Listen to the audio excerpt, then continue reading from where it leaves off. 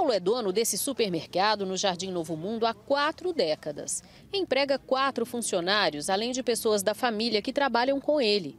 Já recebeu muitos currículos ao longo dos anos, mas nenhum tão especial como esse aqui, que ele guarda com carinho. Eu fico até emocionado quando eu falo, porque ela é uma, é uma gracinha, ela, ela, é encantada, ela, ela sempre gosta né, de mexer com o que ela falou no currículo, é maquininha e tal, ela é alegre demais, ela é espontânea, né? A letra caprichada é da Isabelle, uma menininha de 12 anos que mora quase em frente ao supermercado.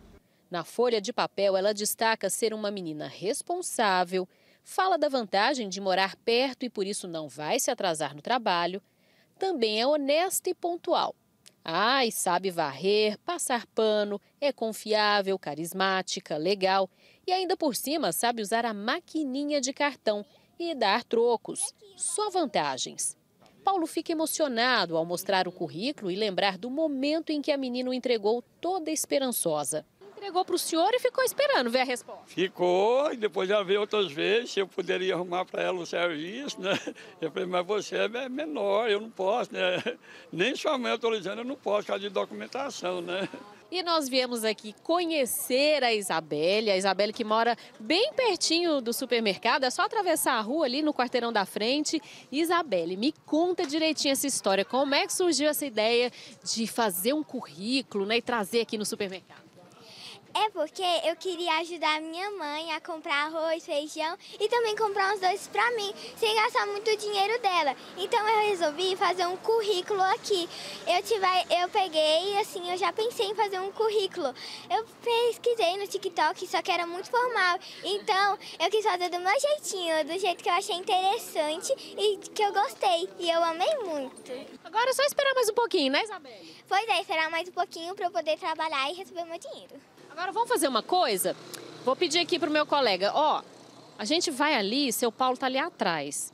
Vamos pedir só por alguns momentos você sentar ali no caixa com ele, como se você fosse uma funcionária dele? Vamos ver como é que vai ser? Vamos. Vamos. Então bora lá. A Isabelle ainda tem muito o que aproveitar na infância. Estudar, brincar.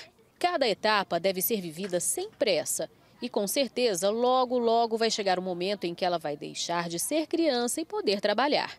Mas enquanto isso não acontece, ela teve a chance de vivenciar um pouquinho da experiência no caixa do supermercado do Paulo. E vejam só o brilho nos olhos e a alegria dessa menininha. Passou mercadorias pelo leitor de códigos de barra, emitiu cupom fiscal e até mostrou que sabe mesmo cobrar o valor da compra com a maquininha de cartão. Como é que foi aí, Isabelle? O que, que você aprendeu a mexer aí agora? Ah, eu aprendi a colocar as coisas aqui, a fechar, passar também os códigos, essas coisas. Aí a, o cartãozinho, a maquininha eu só passei aqui, ó, vou mostrar. Imprimir e aqui o valor. Além disso, com o gesto e o pedido de emprego, ela mostrou quanto é determinada. E certamente o futuro reserva grandes oportunidades para você, Isabelle, tudo no seu tempo. A mãe cria duas filhas sozinha, Isabelle e uma irmã mais velha. Orgulhosa, ela fala da atitude da menina que sempre ajuda muito em casa e sonha em dar uma vida melhor para a família. Ela tem que pensar no futuro mesmo, né? Porque eu infelizmente não tenho condições de fazer tudo que eu gostaria para ela. Então eu acho bem. É. fiquei muito. Fiquei. Fiquei muito orgulhosa.